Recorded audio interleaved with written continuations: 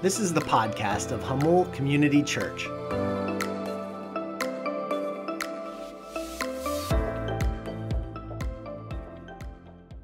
We will prayerfully and worshipfully consider the fruit of patience. I'm going to start by reading from four passages. Uh, these are the ones in your outline. You probably won't have time to flip to them all.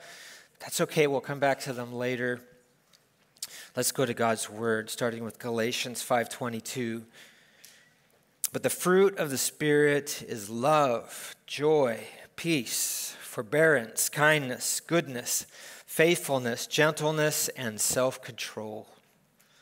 Exodus 34, 6 and 7.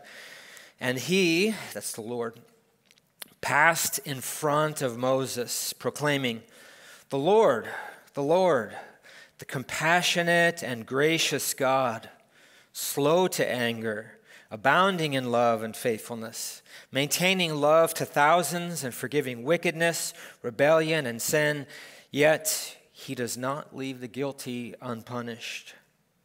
Ephesians 4 Be completely humble and gentle. Be patient, bearing with one another in love. And John 16.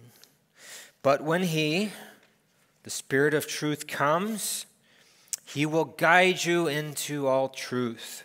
He will not speak on His own, He will speak only what He hears. He will glorify me. That's Christ. And let's pray. Father, we ask this morning that you confirm, conform us into your likeness. Help us to understand and apply your word. Strengthen our hearts to have faith in your promises. Help us to see these promises as beautiful and not burdensome. We pray this in Christ's name. Amen. So, when we come to the fruit of the Spirit, here in Galatians, we are coming to the middle of the story about fruitfulness. The story of fruitfulness starts in Genesis and it goes to Revelation, and the fruit of the Spirit is just one part in the story. Fruitfulness. Fruitfulness in the Bible is often just a metaphor for having offspring. But God has always wanted more than just mere numbers. God says, I want a fruitful people, he means he wants them to have a heart of righteousness that overflows with fruitful acts, with righteous acts, with rightful, righteous speech and righteous deeds and righteous thoughts. These are the fruits, just like the fruit on a tree gets its nutrient from the, the roots and the trunk. So the Christian, we get our spiritual nutrients from our good God. Psalm 1, think of that. This is the image of a righteous person.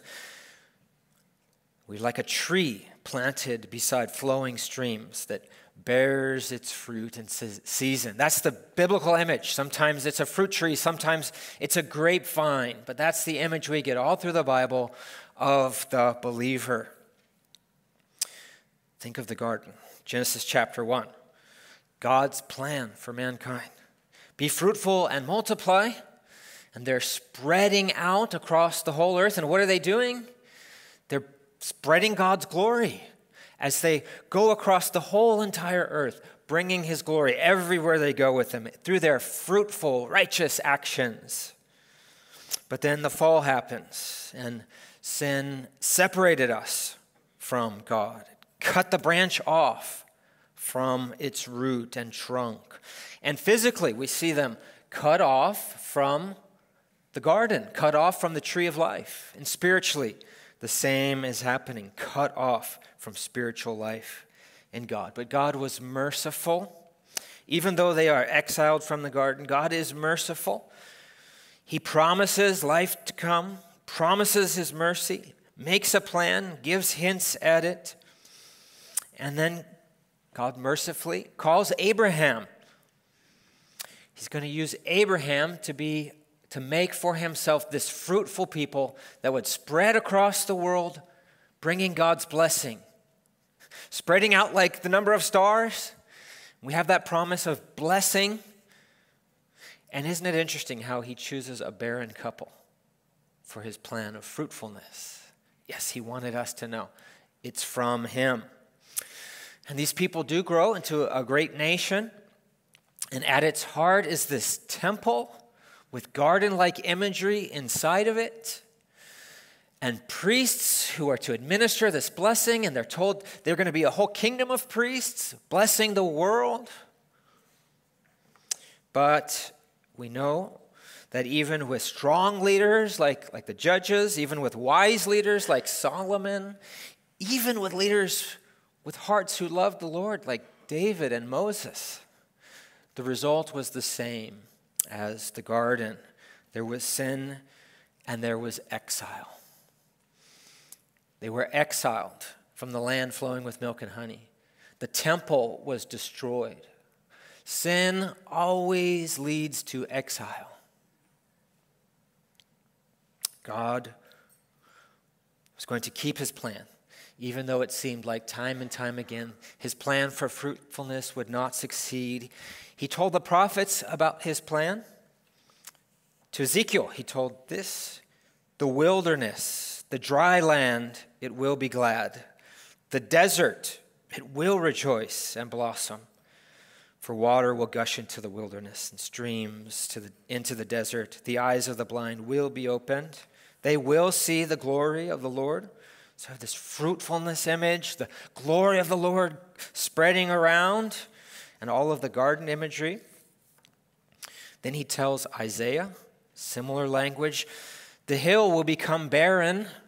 We have unfruitfulness here. The hill is the people, the, the nation. The hill will be barren until the Spirit from on high is poured out. Then the desert will become an orchard. That's Isaiah chapter 32.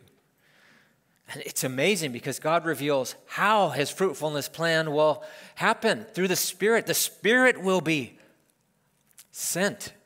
And we hear echoes of this, right? Just in the phrase, fruit of the Spirit. I wonder if Paul was thinking of this, Isaiah 32, as he's writing this letter, the fruit of the Spirit. But the plan is continuing to be worked out. God will have a fruitful people, and then Jesus comes. And Jesus bears perfect fruit. But Jesus says, I'm more than just a branch bearing fruit. I'm the vine. Remember when he said that? I am the trunk itself. And if you want life, you need to be cleaned and you need to be grafted onto me. So, Jesus, almost as the tree of life himself, says, Come to me, get forgiveness from me, and be grafted onto me through the Spirit. And this was God's amazing plan. When we could not do it, He did it and grafts us onto Him so we can be a fruitful people. And then we think the Great Commission Go out into the all go out into all the world and I will be with you. Think back to that original plan to go out into the world, spread God's glory. But now we do it with the Spirit and we do it with the gospel. That's the message we are bringing to the world. So think of this story. We also get to Revelation, where we have all this garden imagery at the end of Revelation. There's a new creation, the tree of life, rivers flowing. And now, the story gets complete because though now our fruit is often small, pecked by the birds, malnourished, it's still fruit. It really is spiritual fruit that we're bearing. But because of this sinful world and the sin still in our hearts, it's not perfect. But one day, in heaven, in the new creation, the new earth, our fruit will be perfect. We will be with him and we will be like him. So when we, we come to the fruit of the Spirit, let's put ourselves in this story and thank the Lord for where we are in his amazing plan. So, the specific fruit that we want to think about today in the story is the fruit of patience.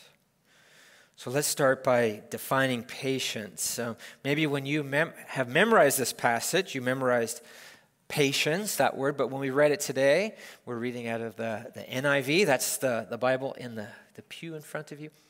Um, it says forbearance. Well, forbearance is a helpful word. Uh, forbearance helps us to remember that uh, patience is more than just waiting. That might be the only idea we get from patience, but forbearance tells us, ah, oh, there's more to waiting. It, it includes suffering sometimes. But the Bible does talk about patience as waiting. If you are waiting in line at a theme park, you're there for a long time, you you have to show patience. Students here, young people here, if on Christmas morning you're up early, you're just waiting to open the presents. You're pausing what you want to do so badly. You're anticipating the good to come. And you need self control, right? And patience to just keep from running over and, and opening up the presents. But you know, you know that something better, you're waiting for something good. You're waiting for something beautiful. You're waiting for the whole family to be there and do this together, which is putting off that instant gratification for something promised to be better, for something you know will be better. So that's one sense of patience. It's waiting. It's waiting for something better to come. And the Bible talks about patience like this a lot. Psalm 37 7 Be still before the Lord. Wait patiently for him. We're waiting for his good. We're not, we're not rushing to open it. We're, we're waiting for him in his timing. Isaiah 40, you know this one? Those who wait on the Lord will renew their strength. They will soar on wings like eagles. We're waiting for the Lord.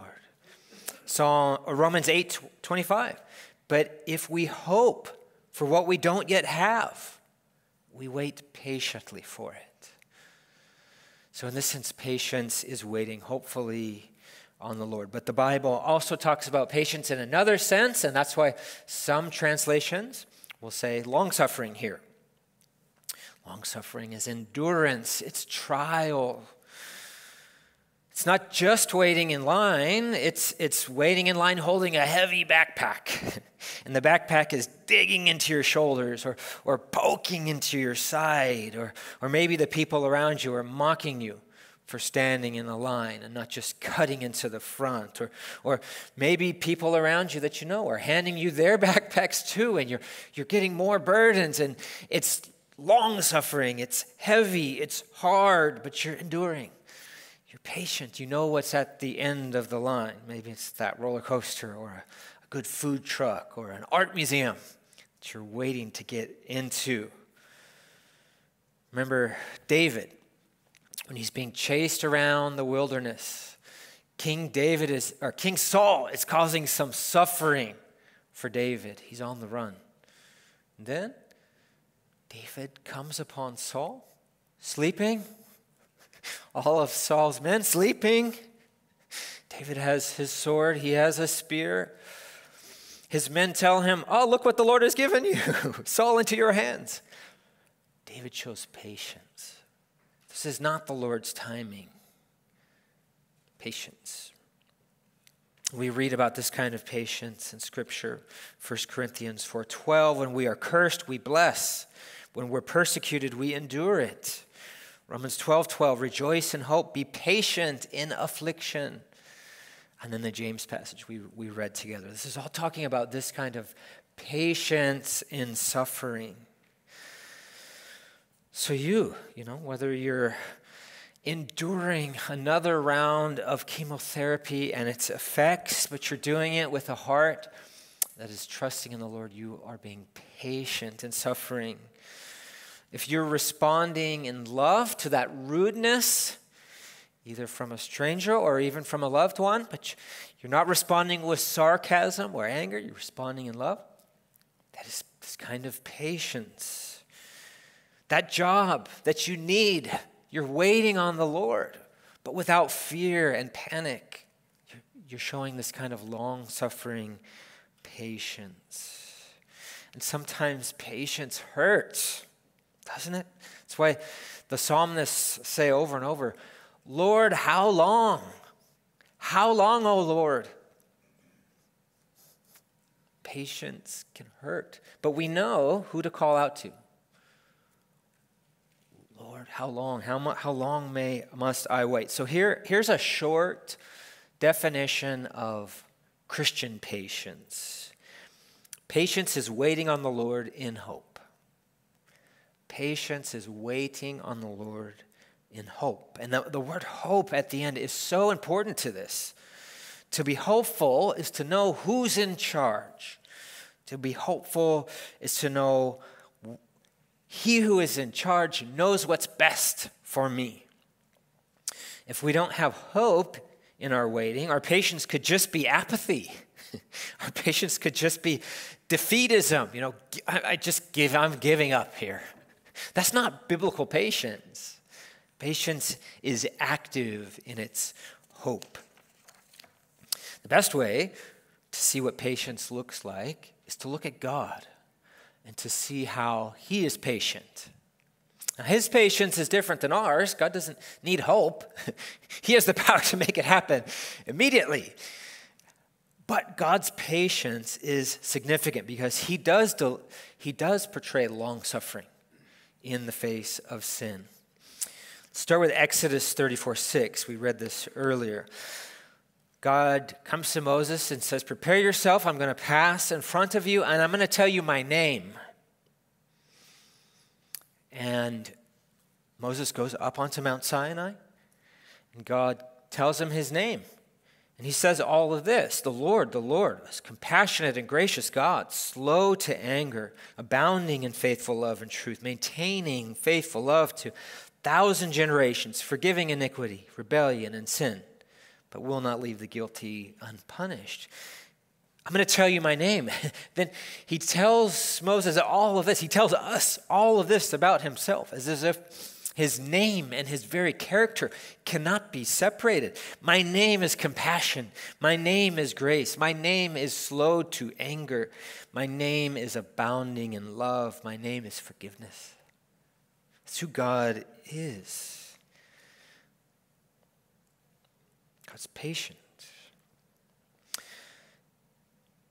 As we look at God's patience in the world, in the Bible, um, we can do it in three ways. One, we can look at his display of patience in creation. Another is his display of creation with sinners. And then, third, we'll look at his, his display of patience with um, specific sinners, you and me as, as individuals. But let's start with his display of patience in creation. This is something fun to talk about. Families, maybe you can do this more uh, at home. Uh, or not just families, anybody can do this more later. We could talk about this at lunch. How has God shown his patience in creation? Well, I'm going to give you a few ideas. One is through the seasons. God shows us patience by giving us seasons. In the winter, things change, right? Uh, it gets darker. We have less light, less time to be working outside. It gets colder, most places. it gets colder, and uh, you're not out and free and working as much. And, and most places, the plants stop producing. You know, not, not, uh, you're not getting as much food. So, for most of history, during this season, you are less productive. You've stored up all the food. You put a pause on those big projects. God does this. He doesn't seem like He's in a hurry for us to get all these things done. He could have made it summer all year, you know, just changing the axis of the earth just a little bit, so it's summer all year.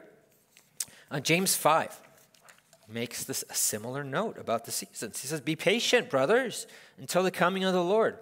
See how the farmer waits on the fruit of the earth, being patient until he receives the late rains. So the seasons connected to the rains, being patient in the seasons. I think seasons do teach us. God God is a patient God, and He wants us to be patient with things. Parenting also is a way that teaches us about patience.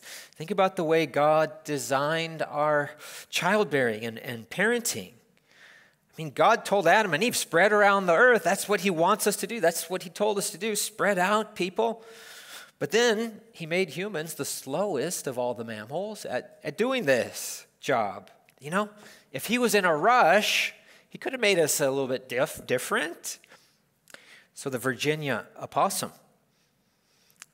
goes from fertilization to birth in 12 days.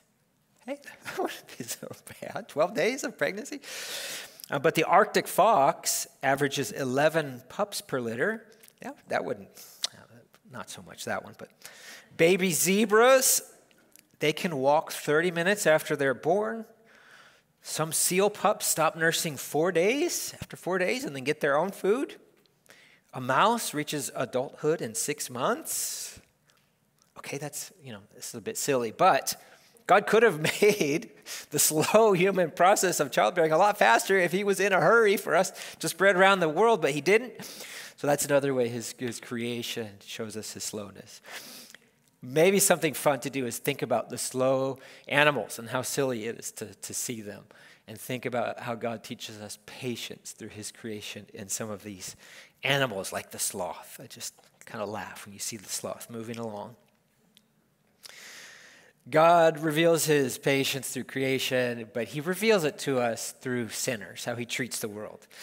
Uh, creation, we can see some things about God, but the main way we know about God, the chief way we know about God, is by what he reveals to himself to us in his word. So let's think about how God has been patient with the world. At the fall, God could have justly, in all justness, put an end to humanity. See that several times in Scripture. He could have ended it in all justice and not have done wrong. Through the patriarchs, we see God so patient. Remember Abraham's lack of faith with Hagar, Jacob's lies, the ten brothers selling Joseph into slavery. God was so patient with them when they could have so easily destroyed themselves. He was patient and to the nations who were living in the promised land. Think about how God was patient to them. Abraham, you can't take the promised land yet. You need to wait because their sin is not reached its full, Abraham. So 400 years, God was patient with the nations there.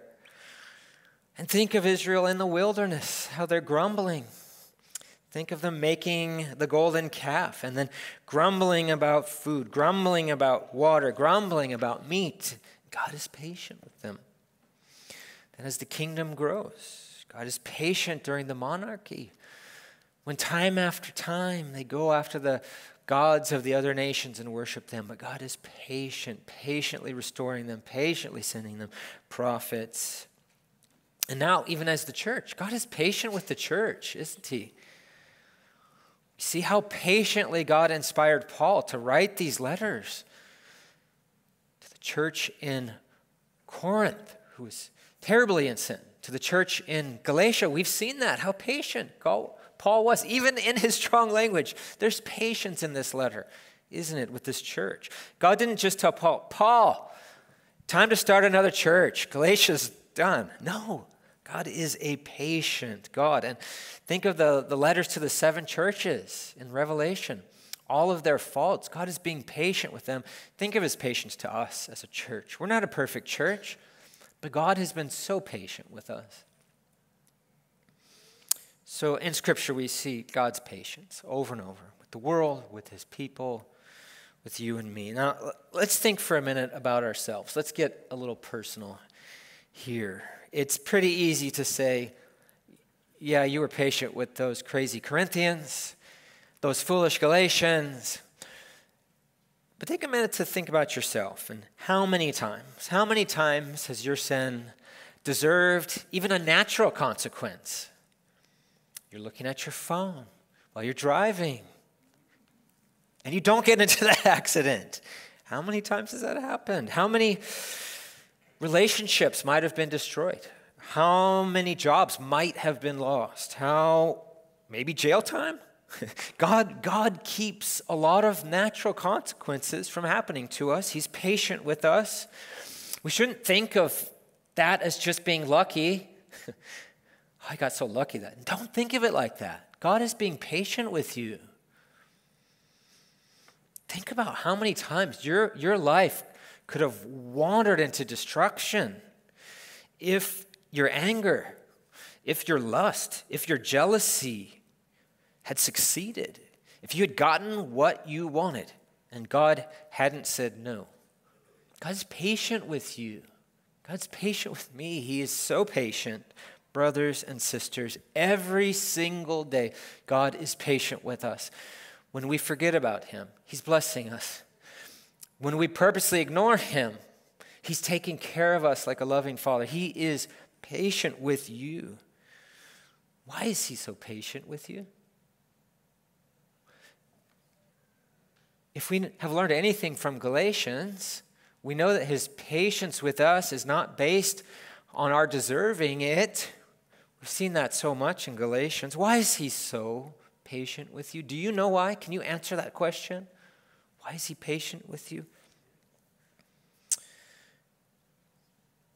Did you notice that last verse in the Exodus passage? God's revealing his name, says all these things about forgiveness and patience. That last verse, but I will not leave the guilty unpunished. That is also part of God's name. It's part of who He is. And it sounds kind of contradictory. I will forgive the guilty, but I will not leave the guilty unpunished. For hundreds of years, people came to this verse. They must have said, What? How? In some way, the sacrifice pointed towards how, but they knew even the sacrifice is not what is forgiving our sins. How, how, and how can our sins be punished? Well, the answer is in Christ, isn't it? Where God's justice and his mercy come out. Christ comes and he says, just like God's name, I will forgive you. He says, I will forgive you. God's very name, I will forgive you. And he also says, You must be punished, but I will take your punishment. Patience, the word patience means, it doesn't mean it's completely gone. It means I'm waiting. God's patience with us means there still must be some kind of dealing with sin, some kind of judgment for sin. God's patience for you, Christian, comes from the cross. If you're here today and you're not a Christian, God is still patient with you. But one day, his patience will turn to justice and you will be exiled. You will have to take the punishment yourself. If you don't come to Christ in faith, giving your sin to him, you must take the punishment of exile forever apart from him. So today, if you hear his voice, do not harden your hearts, but come to him in faith.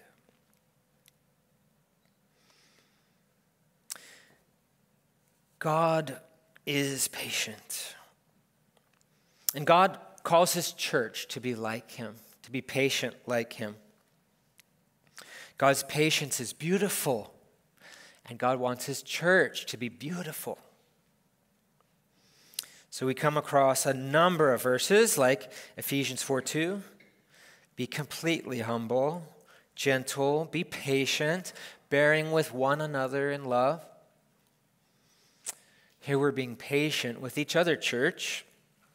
Have you ever heard of the one another passages? These are passages that have the word one another. They're instructions to the church for how to treat each other. You can look it up. Uh, show me the one another verses, and you'll get a list of over 50 of them. It's how we treat each other. Here's a few of them Love one another, John 13. Be devoted to one another. I'm not going to read all the references. Honor one another. Live in harmony with one another. Care for one another. Serve one another. Bear one another's burdens, forgive one another, be patient with one another, be kind to one another, submit to one another, bear with one another, show hospitality to one another. All of those are different verses. There's over 50 of these one another verses teaching us what it's supposed to be like as a local church. So, how many of those require patience? All of them. What does a local church look like? Patience. Patience. Why do we need patience? Because because we're so close together. We're, we're working together. We're ministering together. We're praying together. We're helping each other. We're discipling each other. We're crying together. When you start getting together that much as sinners, you're going to start needing patience because those one another's are also sinful one another's. So you are going to need patience. In our contemporary culture here, there's a problem when you can go to church and not have to exercise patience. When you can be a part of a church and not have to exercise patience. We just have this unhealthy individualism in our culture, especially. Just says Christianity is just about me and God, and I can do that God part online. I'm good. No. All of these one another commands teach us what the church is to look like. Being a Christian means being so connected with the other people here that you need patience. Not just the people that you get along with. You need patience because we are called to be together with every other believer in the local church who has made the commitment I'm one anothering you, and you're one anothering me. And that's part of the reason why membership is significant. Membership is a way of letting each other know I'm one of the one another's. Membership is a way where the elders who hear the confession of faith can say to the congregation, I agree, this is a one another. And it's a way of committing. You, you make a commitment in membership.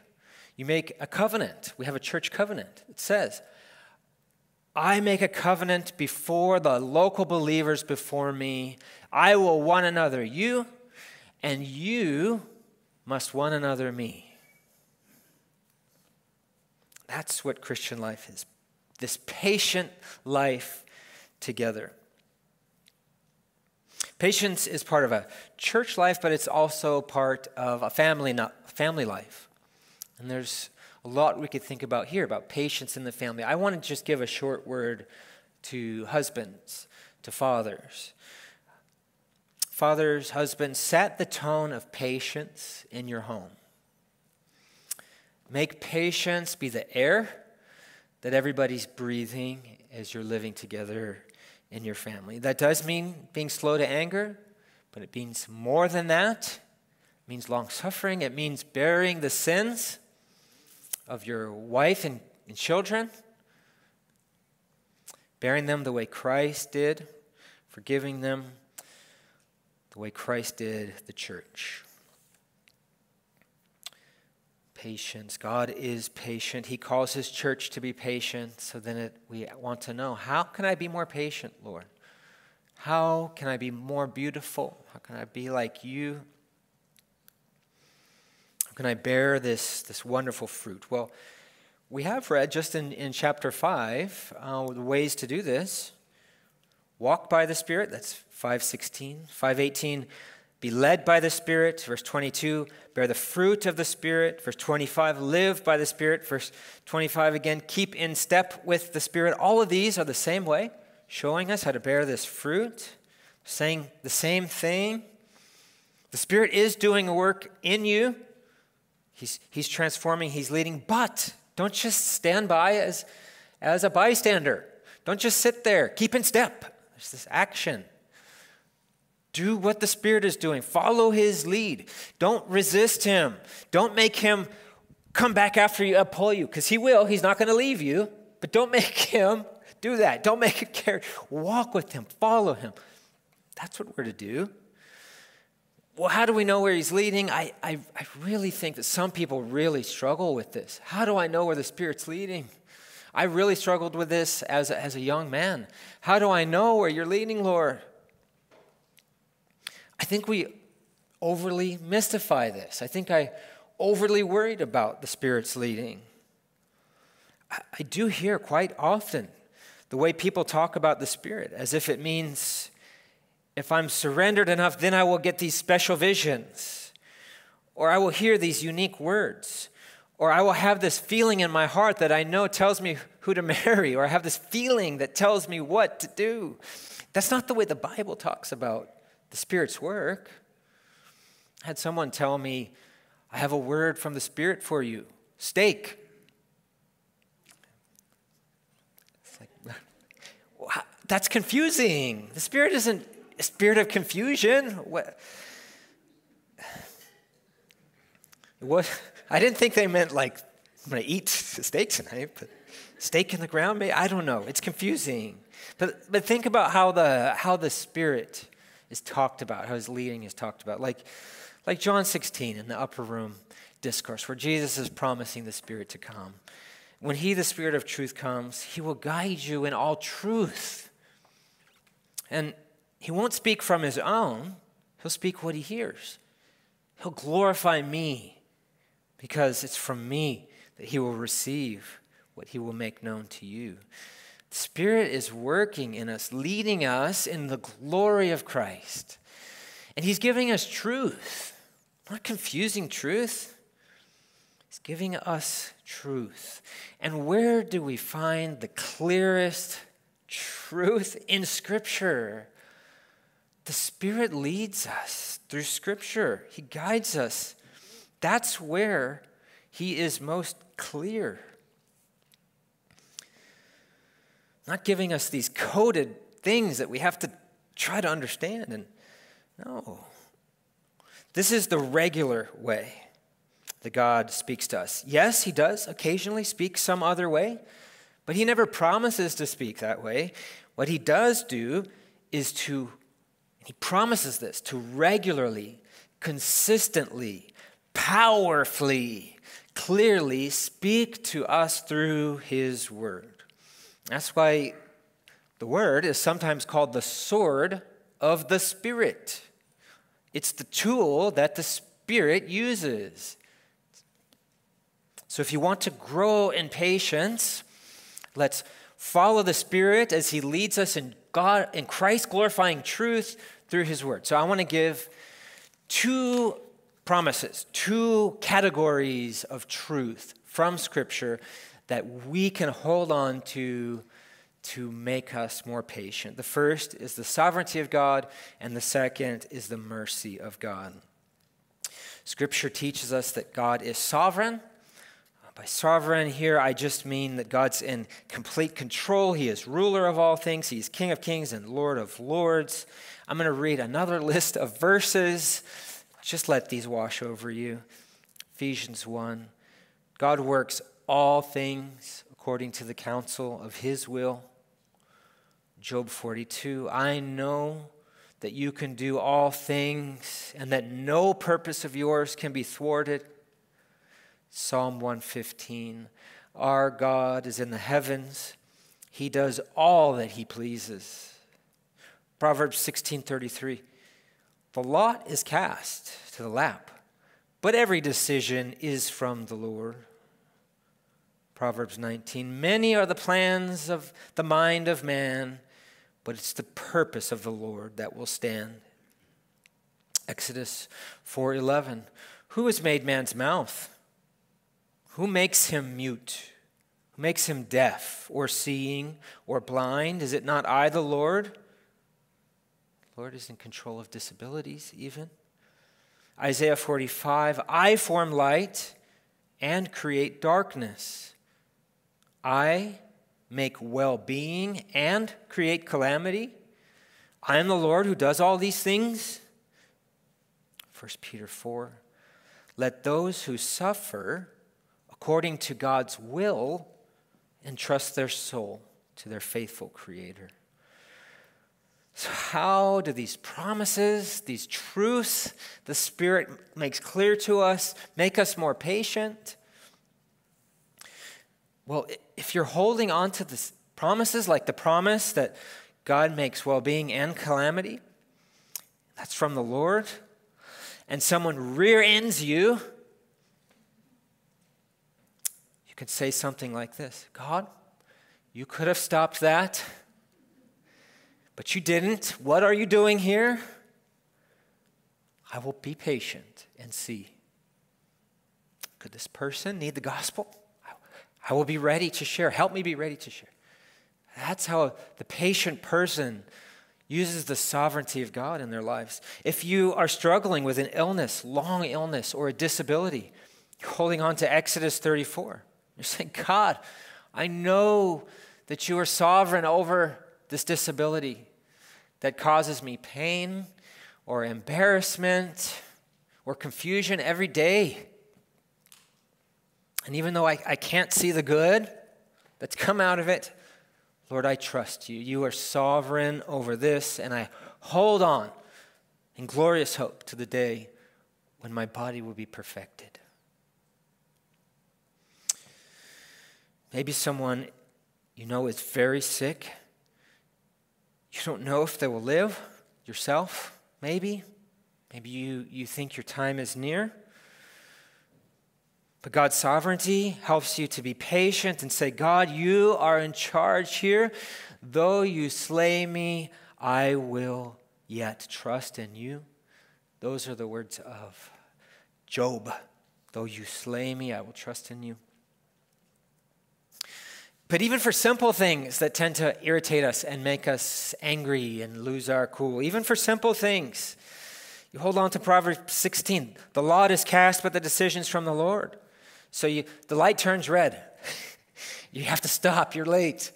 Instead of exploding in anger, Lord, okay, Maybe this will stop me from getting an accident. I don't know, Lord. Maybe it's for someone else. I don't know. But Lord, you're in control. I'm not going to boil over. I trust you here. B.B. Warfield, maybe you've heard his name. He's a, an American theologian. He taught at uh, Princeton Seminary when it was a seminary, early 1900s. Uh, he's most known for his books about the inerrancy of Scripture.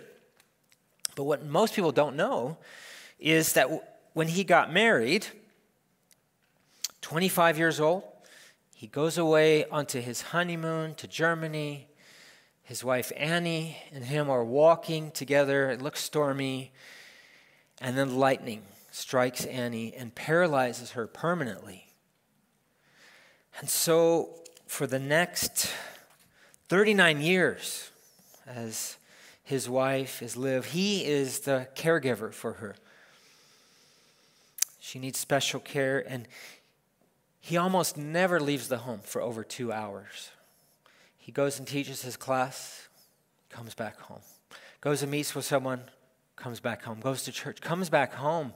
He's caregiving for his wife for 39 years. What patience with patience. He wrote a reflection on Romans 8:28 during this time. Romans 8:28 is that we know in all things God works for the good of those who love him. This is what he wrote about that. All that will come to you is under his controlling hand. And if he governs all, then good will befall those to him he will. He will govern all things so that we will reap good from all that befalls us. So we can be patient. We can be patient because we know that God is sovereign. Think about what impatience does. Impatience is a kind of litmus test of the heart. Why am I being impatient? It's a matter of trust. It's revealing our lack of trust in our all supreme Father. A second set of biblical promises that the Spirit leads us to, that we can hold on to, that will make us more patient, are those promises of mercy. So many verses like this Romans 8 1. There's no condemnation for those who are in Christ Jesus. Psalm 103. He does not deal with us according to our sins. Colossians 2:13 when you were dead in your sins God made you alive in Christ he forgave you your sins there's so many so many of these verses and we think about the parable of the unmerciful servant who was forgiven just so much debt and yet could not forgive we don't want to be like that we've received so much patience patience we've received so much mercy Let's give. God has given us an ocean full of mercy. So when someone needs a cool cup of patience, let's give it to them. God has made us to be fruitful. And we're in the midst of that story. God has made us, made us to grow the fruit of patience. And it is a beautiful thing. And while we live in this impatient world, this briar patch world, let our fruit of patience be delicious and refreshing. God has made us, church, beautiful. We are. We are a beautiful tree.